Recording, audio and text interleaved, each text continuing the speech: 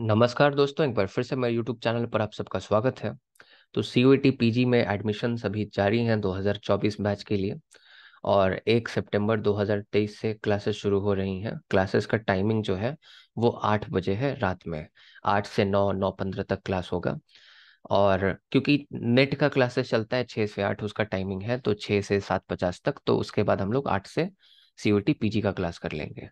Admissions चल रहे हैं अभी पढ़ो तो ऐसे बैच में। पिछले साल जितने भी 170 के आसपास स्टूडेंट्स थे, जो भी सिंसियर और सीरियस स्टूडेंट्स थे, बहुत अच्छा जगह एडमिशन हुआ, जामिया मिलिया इस्लामिया में टॉप टेन में हमारे तीन चार स्टूडेंट्स हैं।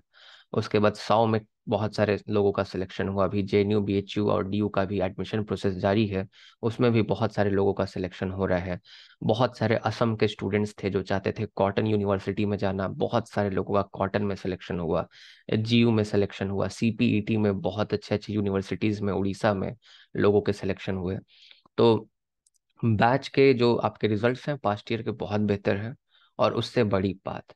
आप जो मुझसे इन छः महीने, सात महीने में सीखेंगे, वो आप पूरे तीन साल में नहीं सीखे होंगे।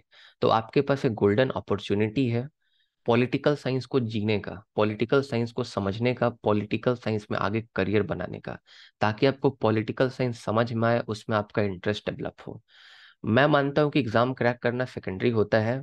प्राइमरी होता है आपको नॉलेज गेन करना। अगर आपके पास नॉलेज होगा तो आप अपने फ्यूचर में बहुत बेहतर करेंगे। मैं अपना एग्ज़ाम्पल दूँ, मैं अमेरिका में भी पढ़ाता हूँ, इंडिया में भी पढ़ाता हूँ। और यूट्यूब चैनल में आपने मुझे थर्टी सिक्स थाउज़ेंड सब्सक्राइबर्स दिया, राइट? तो thirty six thousand subscriber YouTube channel, like मेरा YouTube channel is twenty percent of my work which I am doing, right? लेकिन छत्तीस हज़ार सब्सक्राइबर आपने दिया तो क्यों दिया? क्योंकि मैं जो पढ़ाता हूँ, आपको समझ में आता है।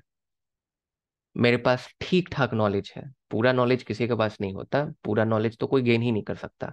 हाँ पर जितना आपको चाहिए, उतना नॉलेज मेरे पास है। काफ़ी क्वालिफिकेशंस भी है मेरे पास।